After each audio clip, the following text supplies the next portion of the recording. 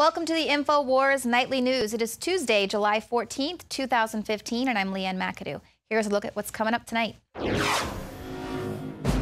Tonight, Planned Parenthood is caught in an undercover video trafficking body parts. A lot of people want intact parts these days. And we analyze the Suicide Squad trailer. What's it really about? I'm just gonna hurt you. Really, really bad. All that and more on tonight's InfoWars Nightly News. Well, we have some shocking video today of a top Planned Parenthood director admitting on film to selling the hearts, livers, and skulls of dead babies. Now, this shocking footage was actually hidden camera video out of Los Angeles. Uh, it's part one of a three part documentary series from the Center for Medical Progress. And this footage features a Planned Parenthood clinician discussing the practice of selling the body parts of aborted babies, a blatant violation of federal law. And uh, so this is a Dr. Deborah Nucatola, and she is the Senior Director of Medical Services at Planned Parenthood. So she's not just some rogue agent out here selling these baby body parts. This is top down demonic savagery. And you look in this video and you see just how calmly and nonchalantly she is talking with these two um, undercover uh, actors here. It was a male and female couple, and she's basically explaining to them over lunch how the procedure goes down and which human organs are most popular. A lot of people want intact parts these days because they're looking for specific nodes. AV nodes, SA. I was like, wow, I, I didn't even know. Good for them. Yesterday was the first time she said people wanted lungs. I, Uh-huh. um, and then, she, but like I said, always as many intact livers as possible. People just want Yeah, Some livers. people want lower extremities too, which that's that's simple. I mean, that's easy. I don't know what they're doing with it. I guess they want muscle. Yeah, a dime a dozen.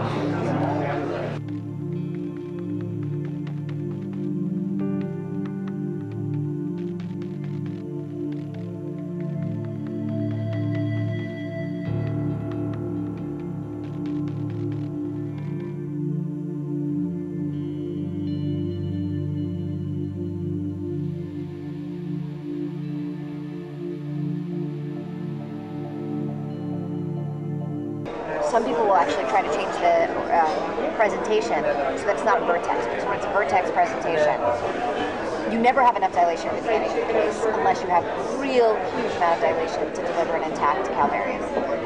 So if you do it starting from the breech presentation, there's dilation that happens as the case goes on, and often the last you can evacuate an intact calvarium. So I mean, there are certainly steps that can be taken. So they can convert to breech, ensure- for example, at the start of the- Exactly. They, under ultrasound guidance, they can just change the, the, the presentation.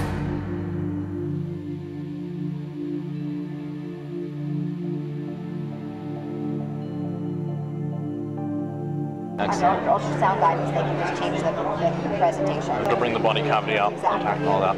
So if you do it starting from the breech presentation, there's dilation that happens as the case goes on, and often the last can evacuate an intact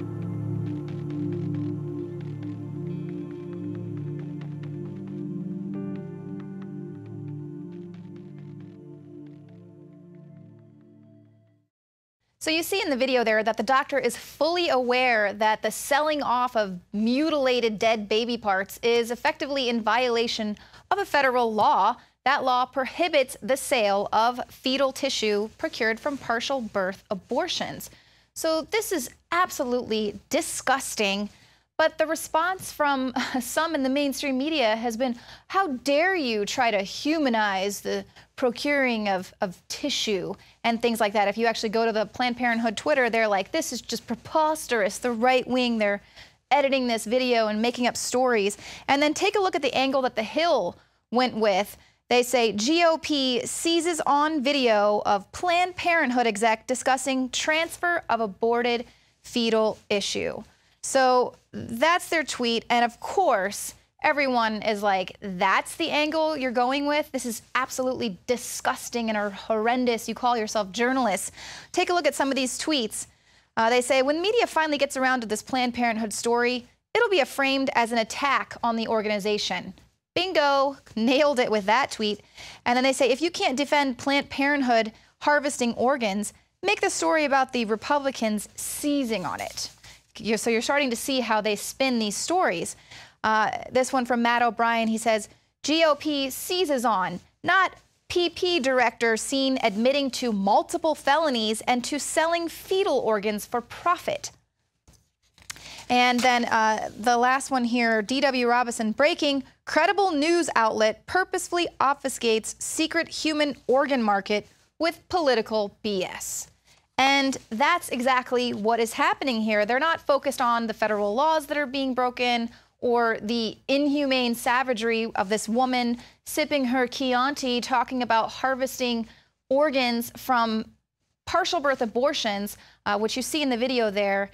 I mean, if if the child is alive at the time, and if any other actions are taken at that point to end its life, that is homicide.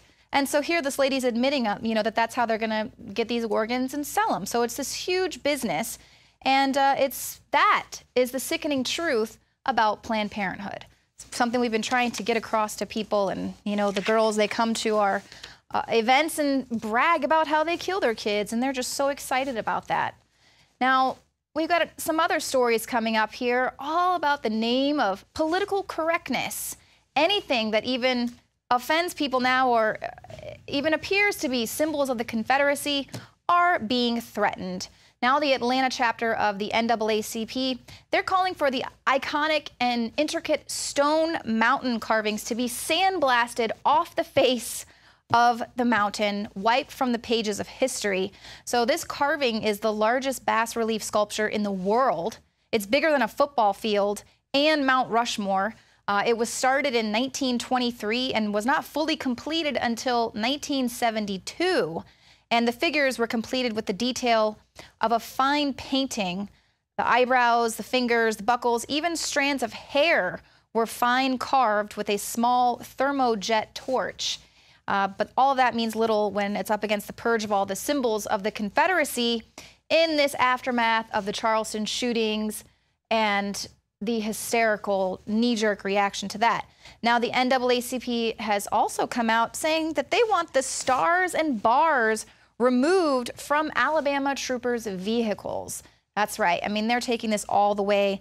Uh, the the NAACP head there in Huntsville said we need to do a clean sweep, and they mean to do that. So is Mount Rushmore next? Because George Washington and the others they own slaves, um, but he says you know. We got to do the clean sweep of this. And so obviously this call to remove or destroy anything even remotely connected to the Confederacy is just absolutely insane. It's a crazed obsession for leftists, and um, it's not going to do anything to combat the problem of the racial divide in the U.S. Now, here is a clip from the Alex Jones show today. Paul Joseph Watson is breaking this down, as well as Larry Elder giving his opinion on the whole situation. So they're now literally calling for it to be sandblasted off the face of this mountain in the name of political correctness. This sounds like the Taliban blowing up Buddhist uh, idols. Well, exactly, Alex. I've been saying for months that so-called progressives are moving ideologically closer to ISIS terrorists because for a year, ISIS have been destroying historical statues and monuments that, quote, offend their radical ideology, which is now exactly what's happening with leftists. You know, there was a video um, about a week ago where they did a man on the street thing, this media organization, and they said, you know, Washington, D.C., it's named after George Washington. He owned slaves. Should we rename Washington, D.C.? And the majority of the people, who of course also think that Beyonce should have the right to ban the First Amendment because of racism, said, yes, we should change the name of Washington, D.C. and call it Black City or mixed race city and all these other ridiculous terms. So it's actually getting to that level. Of course, we had a CNN discussion last month in the light of this Charleston shooting where they said, you know, when do we get to the point where we call for the removal of statues of Thomas Jefferson? And Don Lemon and this other host on CNN were having a rational, sober debate about actually yanking down Jefferson statues and monuments in Washington, D.C. So now they're talking about doing the same um, in Georgia. And of course, Memphis City Council, as you re reported, just voted to dig up the dead body of the Confederate General Nathan Bedford Forrest remove move it to a different location and sell off his statue to the highest bidder. So again, we make the point. Um, this is the translation of this social justice warrior mental illness that's been raging on social media for years and years. Now it's actually translating into law and physical action because politics is downstream from culture. So whatever they set up the cultural narrative to be, which after this Charleston shooting is, you know, any representation of the Confederate flag is racist and evil. They're now translating that into, into actual council votes, legislature votes, and laws, which will physically remove from the pages of history this iconic art, whatever you think about it, just as ISIS terrorists are doing uh, across the Middle East. 95% of black voters voted for Barack Obama, and the black economic condition is worse off than when Obama took office. Black income is down, black net worth is down about a third over the last few years. Uh, the so called wealth gap between whites and blacks is the widest it's been in 25 years.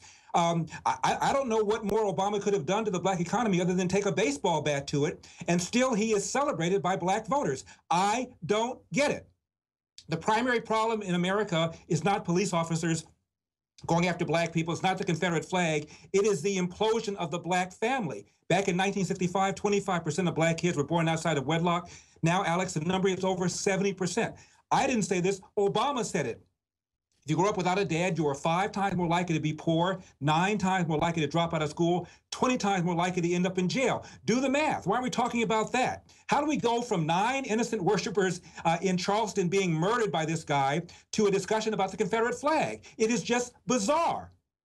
And in 1963, Alex, four black kids were bombed uh, in Birmingham. And that time, George Wallace was the governor of, of Georgia, the one who said segregation now, segregation forever. Uh, the chief cop was a guy that sicked water hoses and dogs on black people. The Klan was so virulent. Uh, they called Birmingham Bombingham because there were two or three bombings just that very week. Fast forward to now, the South Carolina governor uh, is a woman of Indian descent. Uh, one of the two senators is a black person, uh, and we're still talking about racism in America. Give me a break. This is not your grandfather's America, for crying out loud. Well, a historic nuke deal has been made with Iran. Now, this accord is supposedly going to keep Iran from producing any nuclear weapons for 10 years. That'll fly by. And it's also supposed to impose some new provisions for inspections of Iranian facilities, including military sites. Now, let's point out that an estimated $100 billion in Iranian oil revenue has, revenue has been frozen by sanctions, but all of that is now going to, you know, be lifted, and so it'll be a little shopping spree there for for Iran to go out and buy some more military weapons. So, you know, no big deal there. But the president stated that no deal means a greater chance of more war in the Middle East. So you just got to look at all this hypocrisy there. Now, Israel's Prime Minister Benjamin Netanyahu has condemned this deal. He says it's a stunning historic mistake. And he also hinted at the use of, of military force, saying Israel is not bound by this deal with Iran because Iran continues to seek our destruction. And of course, let's not forget, Iran continues to chant uh, death to America and all of that. So obviously, we have some people concerned there in the Middle East, but do you know what will create more war there in the Middle East? How about all of the weapons, billions of dollars worth, that the U.S. is selling there? Now, this is all to ease the Mideast uh, Iran anxiety. The administration and Congress have already approved in May about $2 billion in arms sales to Israel. Uh, and this is in addition to the $3 billion that we send them every year uh, for their defense. But we've also got billions of dollars in pending arms con contracts to the Gulf. The United Arab Emirates has one valued at 130 million for 1,100 laser-guided bombs. And uh, there's another potential contract for as much as 900 million pending for some high mobile artillery rocket system launchers. Uh, the Saudi government is looking at roughly 4 billion in weapons. So, of course, the U.S. defense contractors are just wringing their hands at this nuclear deal. They cannot wait for all of this to take place because all of these uh, defense contractors are going to make bank.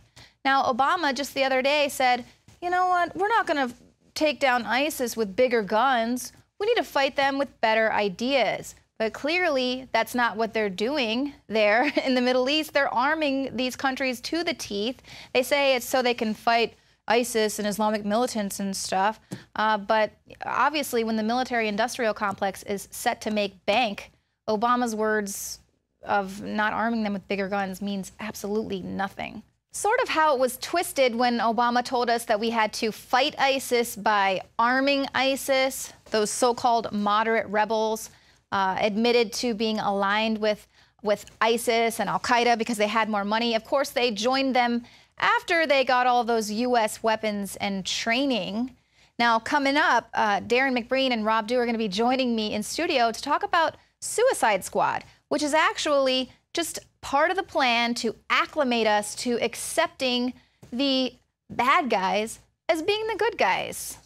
Joining me in studio now, Darrin McBreen and Rob Dew. We're going to be breaking down some secrets behind some of these upcoming blockbusters set to come out 2016, and of course, blatant propaganda. What do you got for us? Well, uh, let's see. It's DC Comics is releasing Suicide Squad. It's going to be in August 2016, and there's a big buzz about it because they released the trailer at Comic Con. Somebody shot it on a cell phone camera and went on the web, and then they said, "No, we got to release the real thing." So uh, it's it that that's an interesting tidbit. It just shows how citizen journalism kind of makes things happen, keeps the ball rolling. Right. Um, same way with that ISIS green screen video. We show how it's done on green screen. Oh, and now finally we see something that looks like the original ISIS beheading video come out and it looks like that is shot on a green screen obviously something that we talked about a while back right. but going back to the suicide squad is where um, you know dc is going to get all their villains and they're going to give them an offer they can't refuse the authorities and turn them into good guys and have them going out doing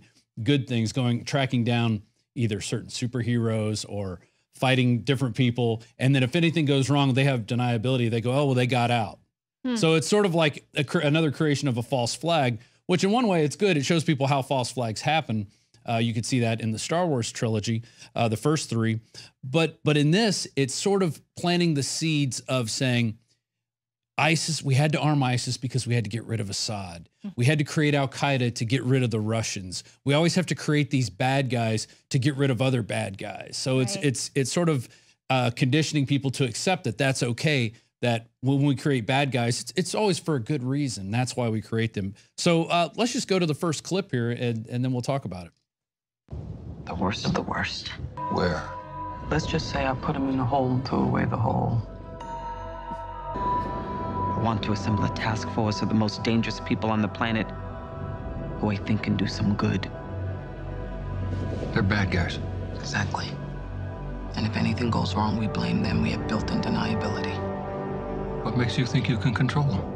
So, wow. What makes you think you can control them? We're going to take exactly. the worst of the worst, put them out on the street. So we've been asking that. I mean, how, why would you arm them and train them with U.S. military tactics and then not think that it's going to come back to bite the backlash? Make weapons drops. And now these guys are invading Iraq. And, and actually, Alex pointed out that whole plan with ISIS that they're most likely going to give them a portion of Iraq to kind of appease them. Say, hey, if you guys stop here, we won't go after you. You'll get a couple cities, some oil fields, and you guys can continue to operate, which is not what you should do with these types of people. But it just goes, you know, it's just the same old thing. We arm our enemies so then we can go and have somebody to fight. Wow. And it, and the only people that benefits out of this is the military industrial complex, which is what's going on with Iran. We're we're arming everybody around Iran, and now we're going to be arming Iran, mm-hmm. and it, there's just no end to it. We're, so we got 20 years for everyone. Yeah, we got another uh, bad guy to fight. right. Well, and this is how they control the narrative through movies and television, because we all know people that either friends of ours, neighbors, people that come into our lives that don't necessarily ever read a newspaper or they never watch the mo- uh, the news Yet somehow magically they are forming strong political opinions, and right. you wonder where do they where do they get these political opinions?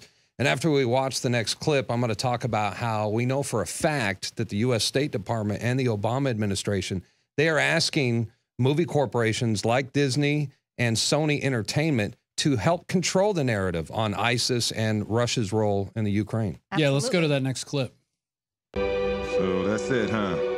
We're the patsies. We're some kind of suicide squad. Oh, I'm not gonna kill you. I'm just gonna hurt you. So I had, had to throw in that little bit yeah, of the Joker because that's, I guess, the third incarnation of the Joker that everybody's making a big deal about. And that seems to be where the focus is. Let's talk about the Joker's new look, mm -hmm. not about the fact that, you know, the authorities, the people that are supposed to keep us safe, are going to let out a bunch of criminals to do good. Right. and expect them to do good. Well, I really like how they're exposing, like you said, how false flags operate, what what a patsy is, because I mean, when people hear that information for the first time, I mean, that's when we had the huge spike uh, in our in our viewership was when people were like, "False flag, what is that?" Mhm. And and so this movie now they're gonna kind of explain it to people. And Well, you hope so. You hope they don't put the spin on it at the end where Right. it's oh, it was a good thing. They actually helped, and and we really we really need the bad guys, and Yeah. because they'll do the things that the good guys won't do, and it just kind of justifies everything the CIA is doing, waterboarding people. Well, we got to get to the bottom of this. So they're putting psychopaths in these positions, and then expecting us to be happy with their results and go, hey, that's the American way. We torture people, you know, through Mm-hmm. Feeding tubes and Gets waterboarding. the job done. Right, and and uh, you know all the other horrendous things that they that they talk about in those torture reports that have come out, you know, with little children and stuff. It's just horrible, and that's not the country we are. So we shouldn't be, you know, promoting that. And then you've got this other movie. It looks like it's going to come out, Rambo: Last Blood. He's going to go fight ISIS. So there's not much coming out about this. I wonder if they will talk about the fact that we armed ISIS and now that's why they're big. That would be interesting to see if, if Sly Stallone puts that in the script because he has a lot of creative control over his movies. And will he put that narrative in there and then he's going in as the rogue guy to to kick some butt and and stop it? But it's just it, it's just totally ridiculous. And I, I think McBreen, you've got a lot of this on on the propaganda angle. Well, right? and I was just going to say that we know that Sony Pictures is going to chime in. I don't know what movie yet, but we do know that the the CEO Michael Lynton, who's the CEO of Sony Pictures Entertainment, he was invited to the White House uh, to have dinner and cocktails with Obama and the First Lady. And we have emails from WikiLeaks where the State Department is specifically asking Michael Lynton, help us out. Help us control the narrative. We need your help because people have a skewed version of, of how they feel about ISIS. So it's really hardcore proof of what they're doing. And to me, it's it's very significant because this says that the the U.S. Uh, State Department and the Obama administration they want to control how you think and what you think about ISIS and how you feel about Russia's role in Ukraine. Right. And remember, I always like to you know go through, do a history lesson, but if you look at uh, Project Mockingbird, this was the very as soon as the CIA was created at the end of uh, World War II, CIA was created. First thing they did, Operation Mockingbird, and that was to embed reporters, to put reporters on the CIA payroll. And as early as the early 1950s, they already had thousands of these guys in all the you know uh, little- newspapers, television, and radio. and now that's being Propaganda legalized to do it domestically. Absolutely. but that was in. They stopped doing that. Oh, right, Yeah, of no. course. Yeah. And, and I think what you're going to see ne- next coming up is is ma- push for mandatory vaccines. How the medical establishment has figured out all our woes and they can help us. We've got this. Uh, there's a California bill actually. California now wants to be the first state to mandate adult vaccines, criminal penalties for those who refuse. SB 792, the first U.S. adult vaccine mandate with no personal exemptions, only medical exemptions approved by a doctor and defined by this bill. Right. And we've already seen them using uh, like Law and Order and things like that to push for these mandatory vaccines. Again, and controlling how the narrative you, through and medi- seen- media manipulation. and you're Absolutely. right. And I have to read this email. It came in today um, from from a mother, and uh, I have recently went through a very scary ordeal. This is why we need to have choice on these vaccines. A special child received a RotaTeq vaccine and became very ill shortly after. He had insusceptation, which is where your insides actually turn inside out. Your colon starts absorbing the small intestine. It's very horrible, which is very nerve wracking and scary. I, I, I was a believer in the FDA and CDC, not anymore. This precious little baby got sick. His diaper was full of blood, and he needed emergency intestinal repair surgery. Hmm. They had to open his stomach and pull out the small intestines out of the colon. It was a very scary process. The baby had bile coming up, and his bowels were not working properly. But thank God he made a recovery after doctors took great care of him in the hospital. Yeah, they made a lot of money uh, over that care. Right. Uh, although we're not sure about his future intestinal problems. Well, you go and look at the, you just search engine the insert for RotaTeq vaccine. It even tells you that this vi- vaccine virus transmission from vaccine recipient to non vaccinated contacts has been reported. So even by giving them this, and it also shows that 10% of these kids develop the symptoms of the disease it's supposed to protect you from, which is diarrhea. This is all just to stop you from having diarrhea. 10% of the kids who take this vaccine get that. Because among it's other things. destroying their insides. So that's how the you know the media works to kind of promote this agenda where the authorities know everything, they know what's best for us, and we don't know anything. We're stupid, and if we question it, we're oh conspiracy theorists. Right. So Yeah. that's just a little uh, a little lesson there, especially in, in with this vaccine stuff. I mean, that's going to be the next thing they're pushing. So Yeah. arming the good guys or arming the bad guys to fight for us is good, and mandatory vaccines. That's all going to be coming down the pipe. Right, and we've actually got a story coming up later in the show where they're going to be force force vaccinating uh, or mandatory um, medical care for Dinesh D'Souza. There you go. You know, Right, he yeah. dared speak out against the administration, and and you know he's got to go to brainwashing camp like and become medicated so he can have right thinking. Well, all that is coming right up, as well as a few reports right after this. Defense Secretary Ash Carter said in a statement the Defense Department's current regulations regarding transgender service members are outdated and are causing uncertainty that distracts commanders from our core missions. At a time when our troops have learned from experience that the most important qualification for service members should be whether they're able and willing to do their job. Our officers and enlisted personnel are faced with certain rules that tell them the opposite. Defense Secretary Ash Carter said a working group formed to study the policy will be led by his personal Undersecretary Brad Carson. It will operate under the presumption so called transgenders are capable of serving without adverse impact on military effectiveness and readiness unless and except where objective practical impediments are identified. The working group will also look at the possibility of the United States military paying for the medical costs of surgeries and other treatment associated with any gender transition or reassignment. The move toward integrating transgender people into the military has support in Congress and is backed by Representative Adam Smith, ranking Democrat on the House Armed Services Committee. Uh, Chris, I've seen the reports of uh, Secretary Carter's comments. I can tell you that the president uh, agrees with the sentiment uh, that all Americans who are qualified to serve should be able to serve. And for that reason, uh, we here at the White House welcome the comments from the Secretary of Defense. You know, your gender identity, sexual orientation, these things shouldn't matter if you want to serve in the military. If you can do the job and if you can um, contribute to the mission, um, you should be allowed to do that.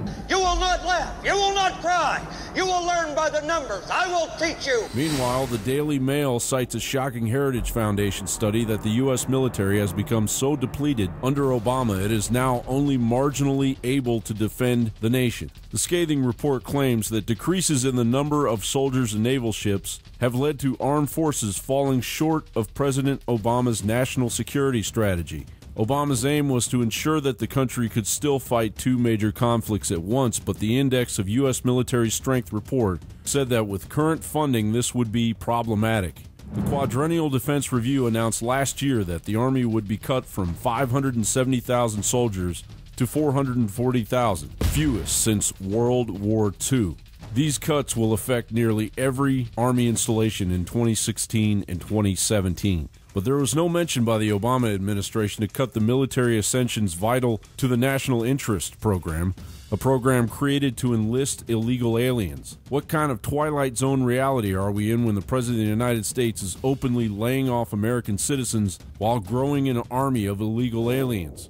And if that morale killer wasn't enough to insult every American citizen that has fought for our country, Obama is supporting reform to shrink military pensions by 20% and ending the military health care system, TRICARE, in favor of dumping the military onto Obamacare. As this total failure of Obama's commander in chief authority rolls out, the cost of the war in Afghanistan is draining the coffers of the Treasury at a rate of $4 million per hour, while the booming black market opium trades profits skyrocket. I saw a report about three, four years ago where you were in Afghanistan with the Marines, where they admit that they're guarding the opium and helping basically produce it. And the argument is, well, this way Al Qaeda won't get it. Absolutely, literally true. Our encampments were in the poppy field. Uh, the, the, the, the harvesting of the crop happened right in front of us. And there I was with the brave Marines at that time in uh, Helmand Province. Getting shot at and they are effectively guarding the uh, the poppy fields. I think it's really a, it's a disaster. It's awful. Impeachment seems to be the only real solution at this point. A president as reckless as this deserves to be impeached at the tail end of his presidency. It would speak volumes to the globalists drooling over what's left of our treasure and our sovereignty. John Bowne for Infowars.com.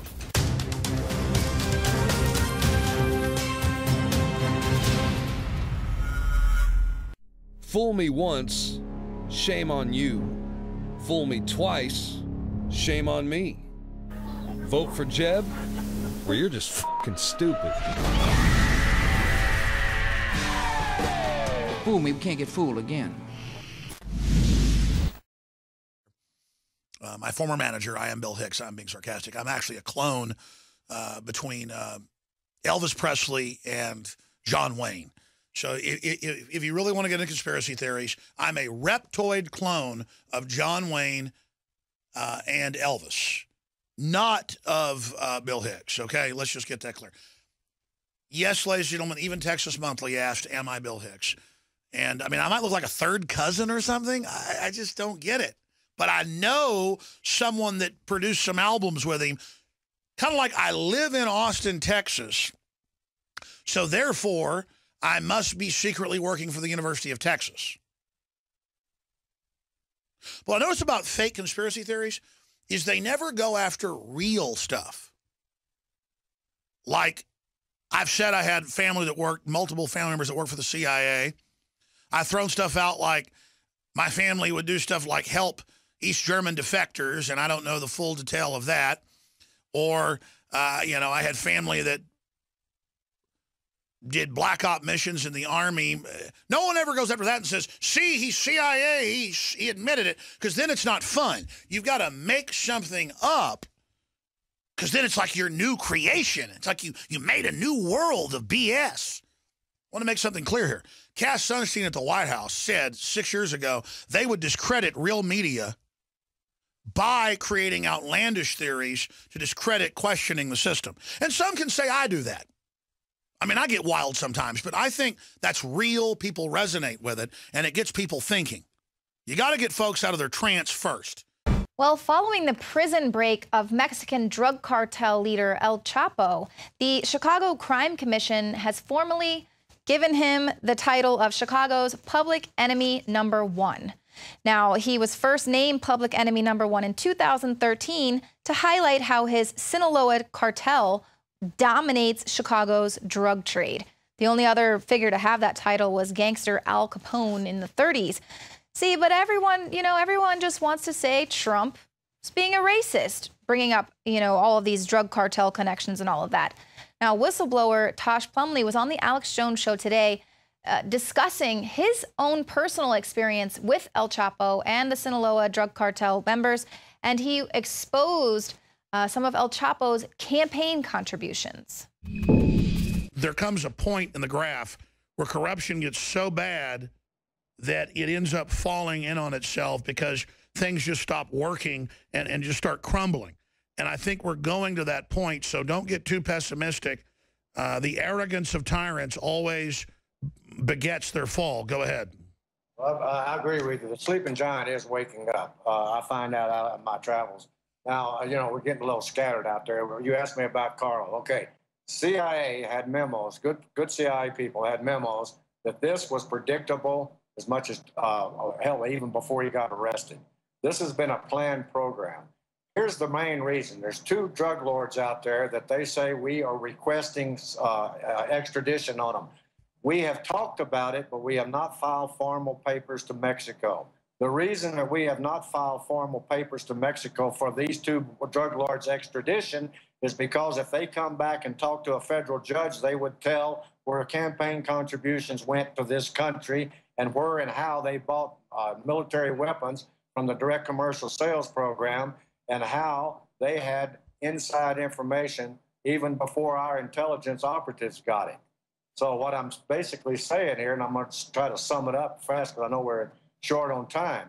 By the way, Tosh, that was a year after we broke it, even in the Chicago Tribune and the El Paso Times, that the number two of the Sinaloa gang was extradited to Chicago. He went and told the judge, I'm national security agent, gave his code. He was actually actually an agent uh, of the CIA, and they they released him.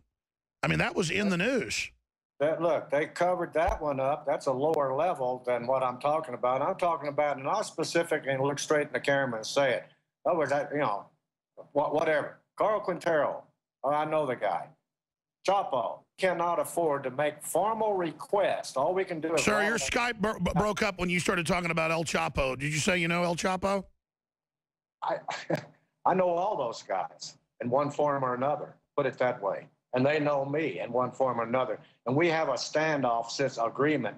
We don't we don't get in each other's ballpark. And I'm not getting in their ballpark and they're not getting in mine. We're playing a tit for tat out here. Now, what I was getting ready to say, maybe I'm going, I'm out of school again. Um, I stepped over the line again. But here's the point. Those men cannot be brought to this country, and I'll sum it up just as tight as I can, because if we put them in front of a federal judge, it will be put on the record that they have made campaign contributions into political parties in this country, and they have bought weapons through the open direct commercial sales and financed their cartel with U.S. made weapons. That was almost broke in, in the uh, Iron, uh, not the Iron Council, but in Fast and Furious. And Zambada, also in Chicago, tried to talk to a federal judge and they put a gag order around it, and mainstream media did not cover it. Now, that's how it's played. These guys, it was predictable. And I'm not trying to rant and get up on a soapbox here. I'm just trying to tell you a straight fact, eyeball to eyeball to you, Alex, on this program. This was predictable. It was known about. The CIA had information that this was an ongoing operation, and they have let those guys out because they cannot afford to file formal papers to Mexico. The mainstream media reports this. They say Mexico does not cooperate with us. We have not made a formal request for either one of those guys. Incredible. It's a CIA drug running, gun running operation. Tosh Plumlee, incredible uh-huh. info. We'll talk to you again very, very soon. Thank you so much. The Jade Helm military exercise is set to begin tomorrow. We will leave you with this in depth report from Joe Biggs breaking it down. And of course, we'll update you on the Alex Jones Show as well as bring you some more news tomorrow night. Join us here, 7 p.m. Central. Joe Biggs here with Infowars.com. Now we are less than 24 hours away from Operation Jade Helm 15 being conducted. Now, there's a lot of things I want to talk about. The fact that the mainstream media continuously tries to demonize Infowars.com on its coverage of Jade Helm. Well, conspiracy theories are running wild tonight about the Army's plan for a multi state training exercise this summer called Jade Helm 15. Texas will be simulated hostile territory. Well, that hostile characterization didn't sit well with a far right radio host in Austin who told his listeners that he had access to the secret document that details a federal takeover in Texas. the fact that so many Americans really just don't even trust the government since the Obama administration has been in place. And it has nothing to do with race. We don't like Bush either. But things have really gotten bad since he has been the president of the United States. And like Ted Cruz said, there's nothing wrong with people questioning the government. That is our right as Americans. We're supposed to question the government because I'll tell you what, our government will question us all the time. So we have to flip that around on them and try and find out what's going on and expose the truth. Now, there's a number of things that the mainstream media has been doing. They say that we try to fearmonger, that we're basically giving birth to this paranoid group of Americans about Jade Helm, when in fact they do the exact same stuff, except even worse because they have a much larger following. Fox News, CNN, millions and millions of people all around the world watch these places. And in the days coming up to the 4th of July weekend, what did they do? They said there was going to be an imminent attack by ISIS on the 4th of July weekend. That's fear mongering. They had no proof of that happening whatsoever. And the 4th of July came and nothing happened. You hear nothing from the entire populace of Americans complaining, hey, why are you guys pushing this? Why are you doing this? But I guarantee you, when Jade Helm comes and goes and nothing happened, the same thing's going to happen to us. They're going to demonize us again, going, oh my God, look at these kooky tinfoil hat people that said that there was going to be an overthrow of the, uh, the government and that they were going to take your guns and nothing happened. Oh my God. Um, that's ridiculous because they're doing the exact same stuff. They fear monger more than anybody. Every time you turn on one of those TV shows, it's the most depressing thing in the world. And all we're trying to do is look at these documents and slides and go, hey, this needs to be questioned, this needs to be looked at. And we're not the only people who think that because Governor Greg Abbott of Texas thinks the exact same thing. He's listened to his constituents and is now going to have the Texas State Guard monitoring the Jade Helm 15 exercises. You have Chuck Norris coming out saying, hey, if you don't know about Jade Helm, you should. There's a lot of people around the world who are concerned about it, and all eyes are going to be on Texas, Utah, Southern California, and Florida over the next two months to see whether or not there's a takeover or if nothing happens. But there's one thing I can tell you will happen a conditioning of the people. And that's what we've said since day one. This will be used as a tool to condition the American public to seeing military roaming up and down the streets in Humvees, helicopters flying at night, exercises being conducted. Now, someone inside, special ops, saying that there will be no media access uh, granted to any type of news agencies out there to cover this. But time and time again over the past, media has been allowed to go cover these events. Now, what were they thinking when they released this statement? This adds further speculation to what's going on with Jade Helm. We've already caught the architects of Jade Helm in a lie numerous times. They said that the people, the private landowners, came to special operations and requested that their land be used for an operation that they didn't even know existed. When in fact, SOCOM came out there, knocked on the door, and said, Hey, can we use your uh, land and we're going to give you money? They denied giving money, but the mayor of Big Spring, Texas came out and said, in fact, that the government approached them and also was giving them money. So, over the next two months, we're going to be out here covering these stories. We're going to try to go to different locations across Texas, maybe some of the other states as well, to bring you guys up to date information. But I want to ask a favor from each and every single one of you out there watching this video right now. If you live in one of these areas where these missions will be uh, conducted, please get off the couch, go out, grab your camera, go rent a camera, get a, a, a cheap little uh, Polaroid, something, take pictures, and email us at showtips at infowars.com with these videos so you can help us get this information out to the people who want to see it. So once again, thank you for watching this video. My name is Joe Biggs with Infowars.com.